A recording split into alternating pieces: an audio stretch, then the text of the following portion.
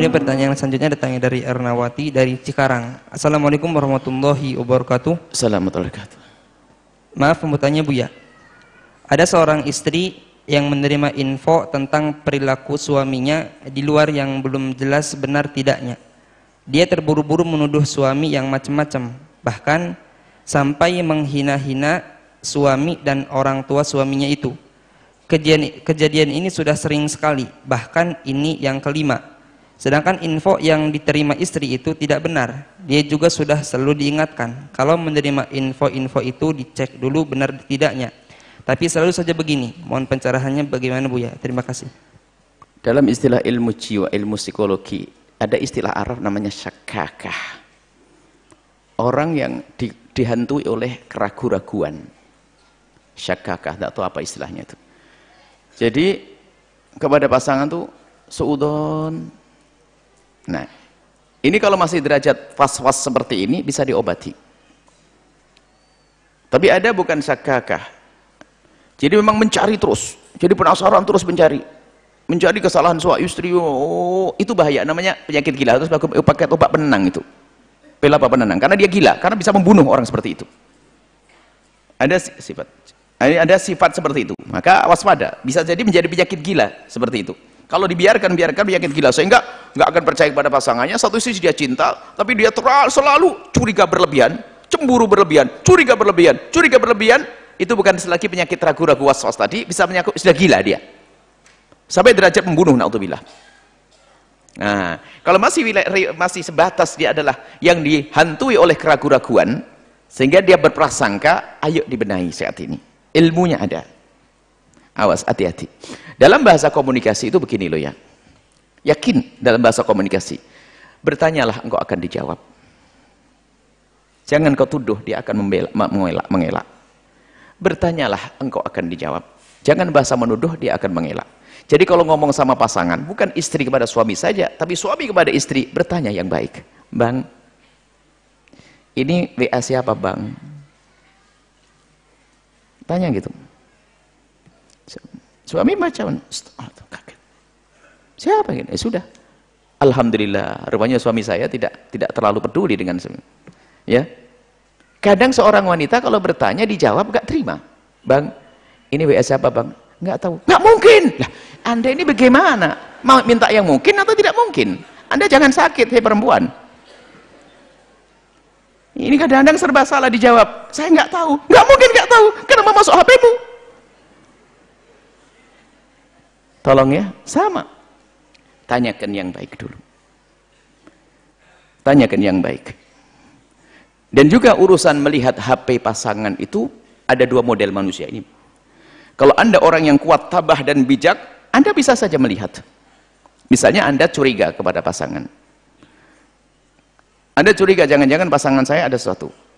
Kalau anda memang orang kuat, tabah dan bijak, anda boleh melihat untuk menyelesaikan masalah. Misalnya melihat agar tahu tapi kalau anda emosional dan sebagainya, jangan lihat karena anda akan merusak rumah anda sendiri. Anda orang yang bijak kuat, akan saya saya akan coba lihat. Kemudian setelah aku lihat, akan aku bincangkan baik-baik. Tapi anda kuat dengan keteduhan anda. Anggap saja itu pasangan yang kepleset, ke pasangan yang ini. Tapi kalau anda tidak kuat, jangan berani-berani lihat. Jangan berani lihat. Karena nanti keluar emosi. Sementara itu belum tentu itu adalah yang benar. Kadang sama teman lama itu gojlokan itu ngaco Makanya perlu waspada dalam diri kita ini. Paling enak enggak usah pengen tahu. Kita sama-sama belajar mendekatkan diri pada Allah. Kalau memang dia melakukan pelanggaran, akan mundur sendiri. Karena apa? Kita sama-sama dekat kepada Allah. Jangan kerjaan kita usil, mencari, mencari, mencari, mencari, mencari, mencari. Tersiksa. Nah, di saat Anda mendengar informasi tidak baik dari seseorang tentang suami Anda, maka jangan Anda mudah percaya. Bisa saja orang itu dikirim oleh setan untuk menghancurkan rumah tangga Anda. Orang hebat adalah orang pendekar hebat, wanita solehah, laki-laki hebat adalah yang tidak bisa diadu domba.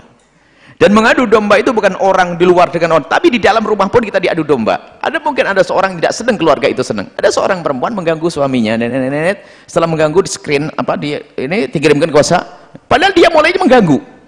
Seorang perempuan ngerayu, bang gimana ini ini, mulai menjawab ini ini ini ini. Padahal laki-laki tersebut mungkin dalam dalam tahap awal-awal boleh menjawab menjawab, menjawab apa? Screenshot screenshot screenshot dikirim kepada istrinya. Ah, pengadu domba dia. Bahkan ada seorang perempuan buya ada buktinya ini.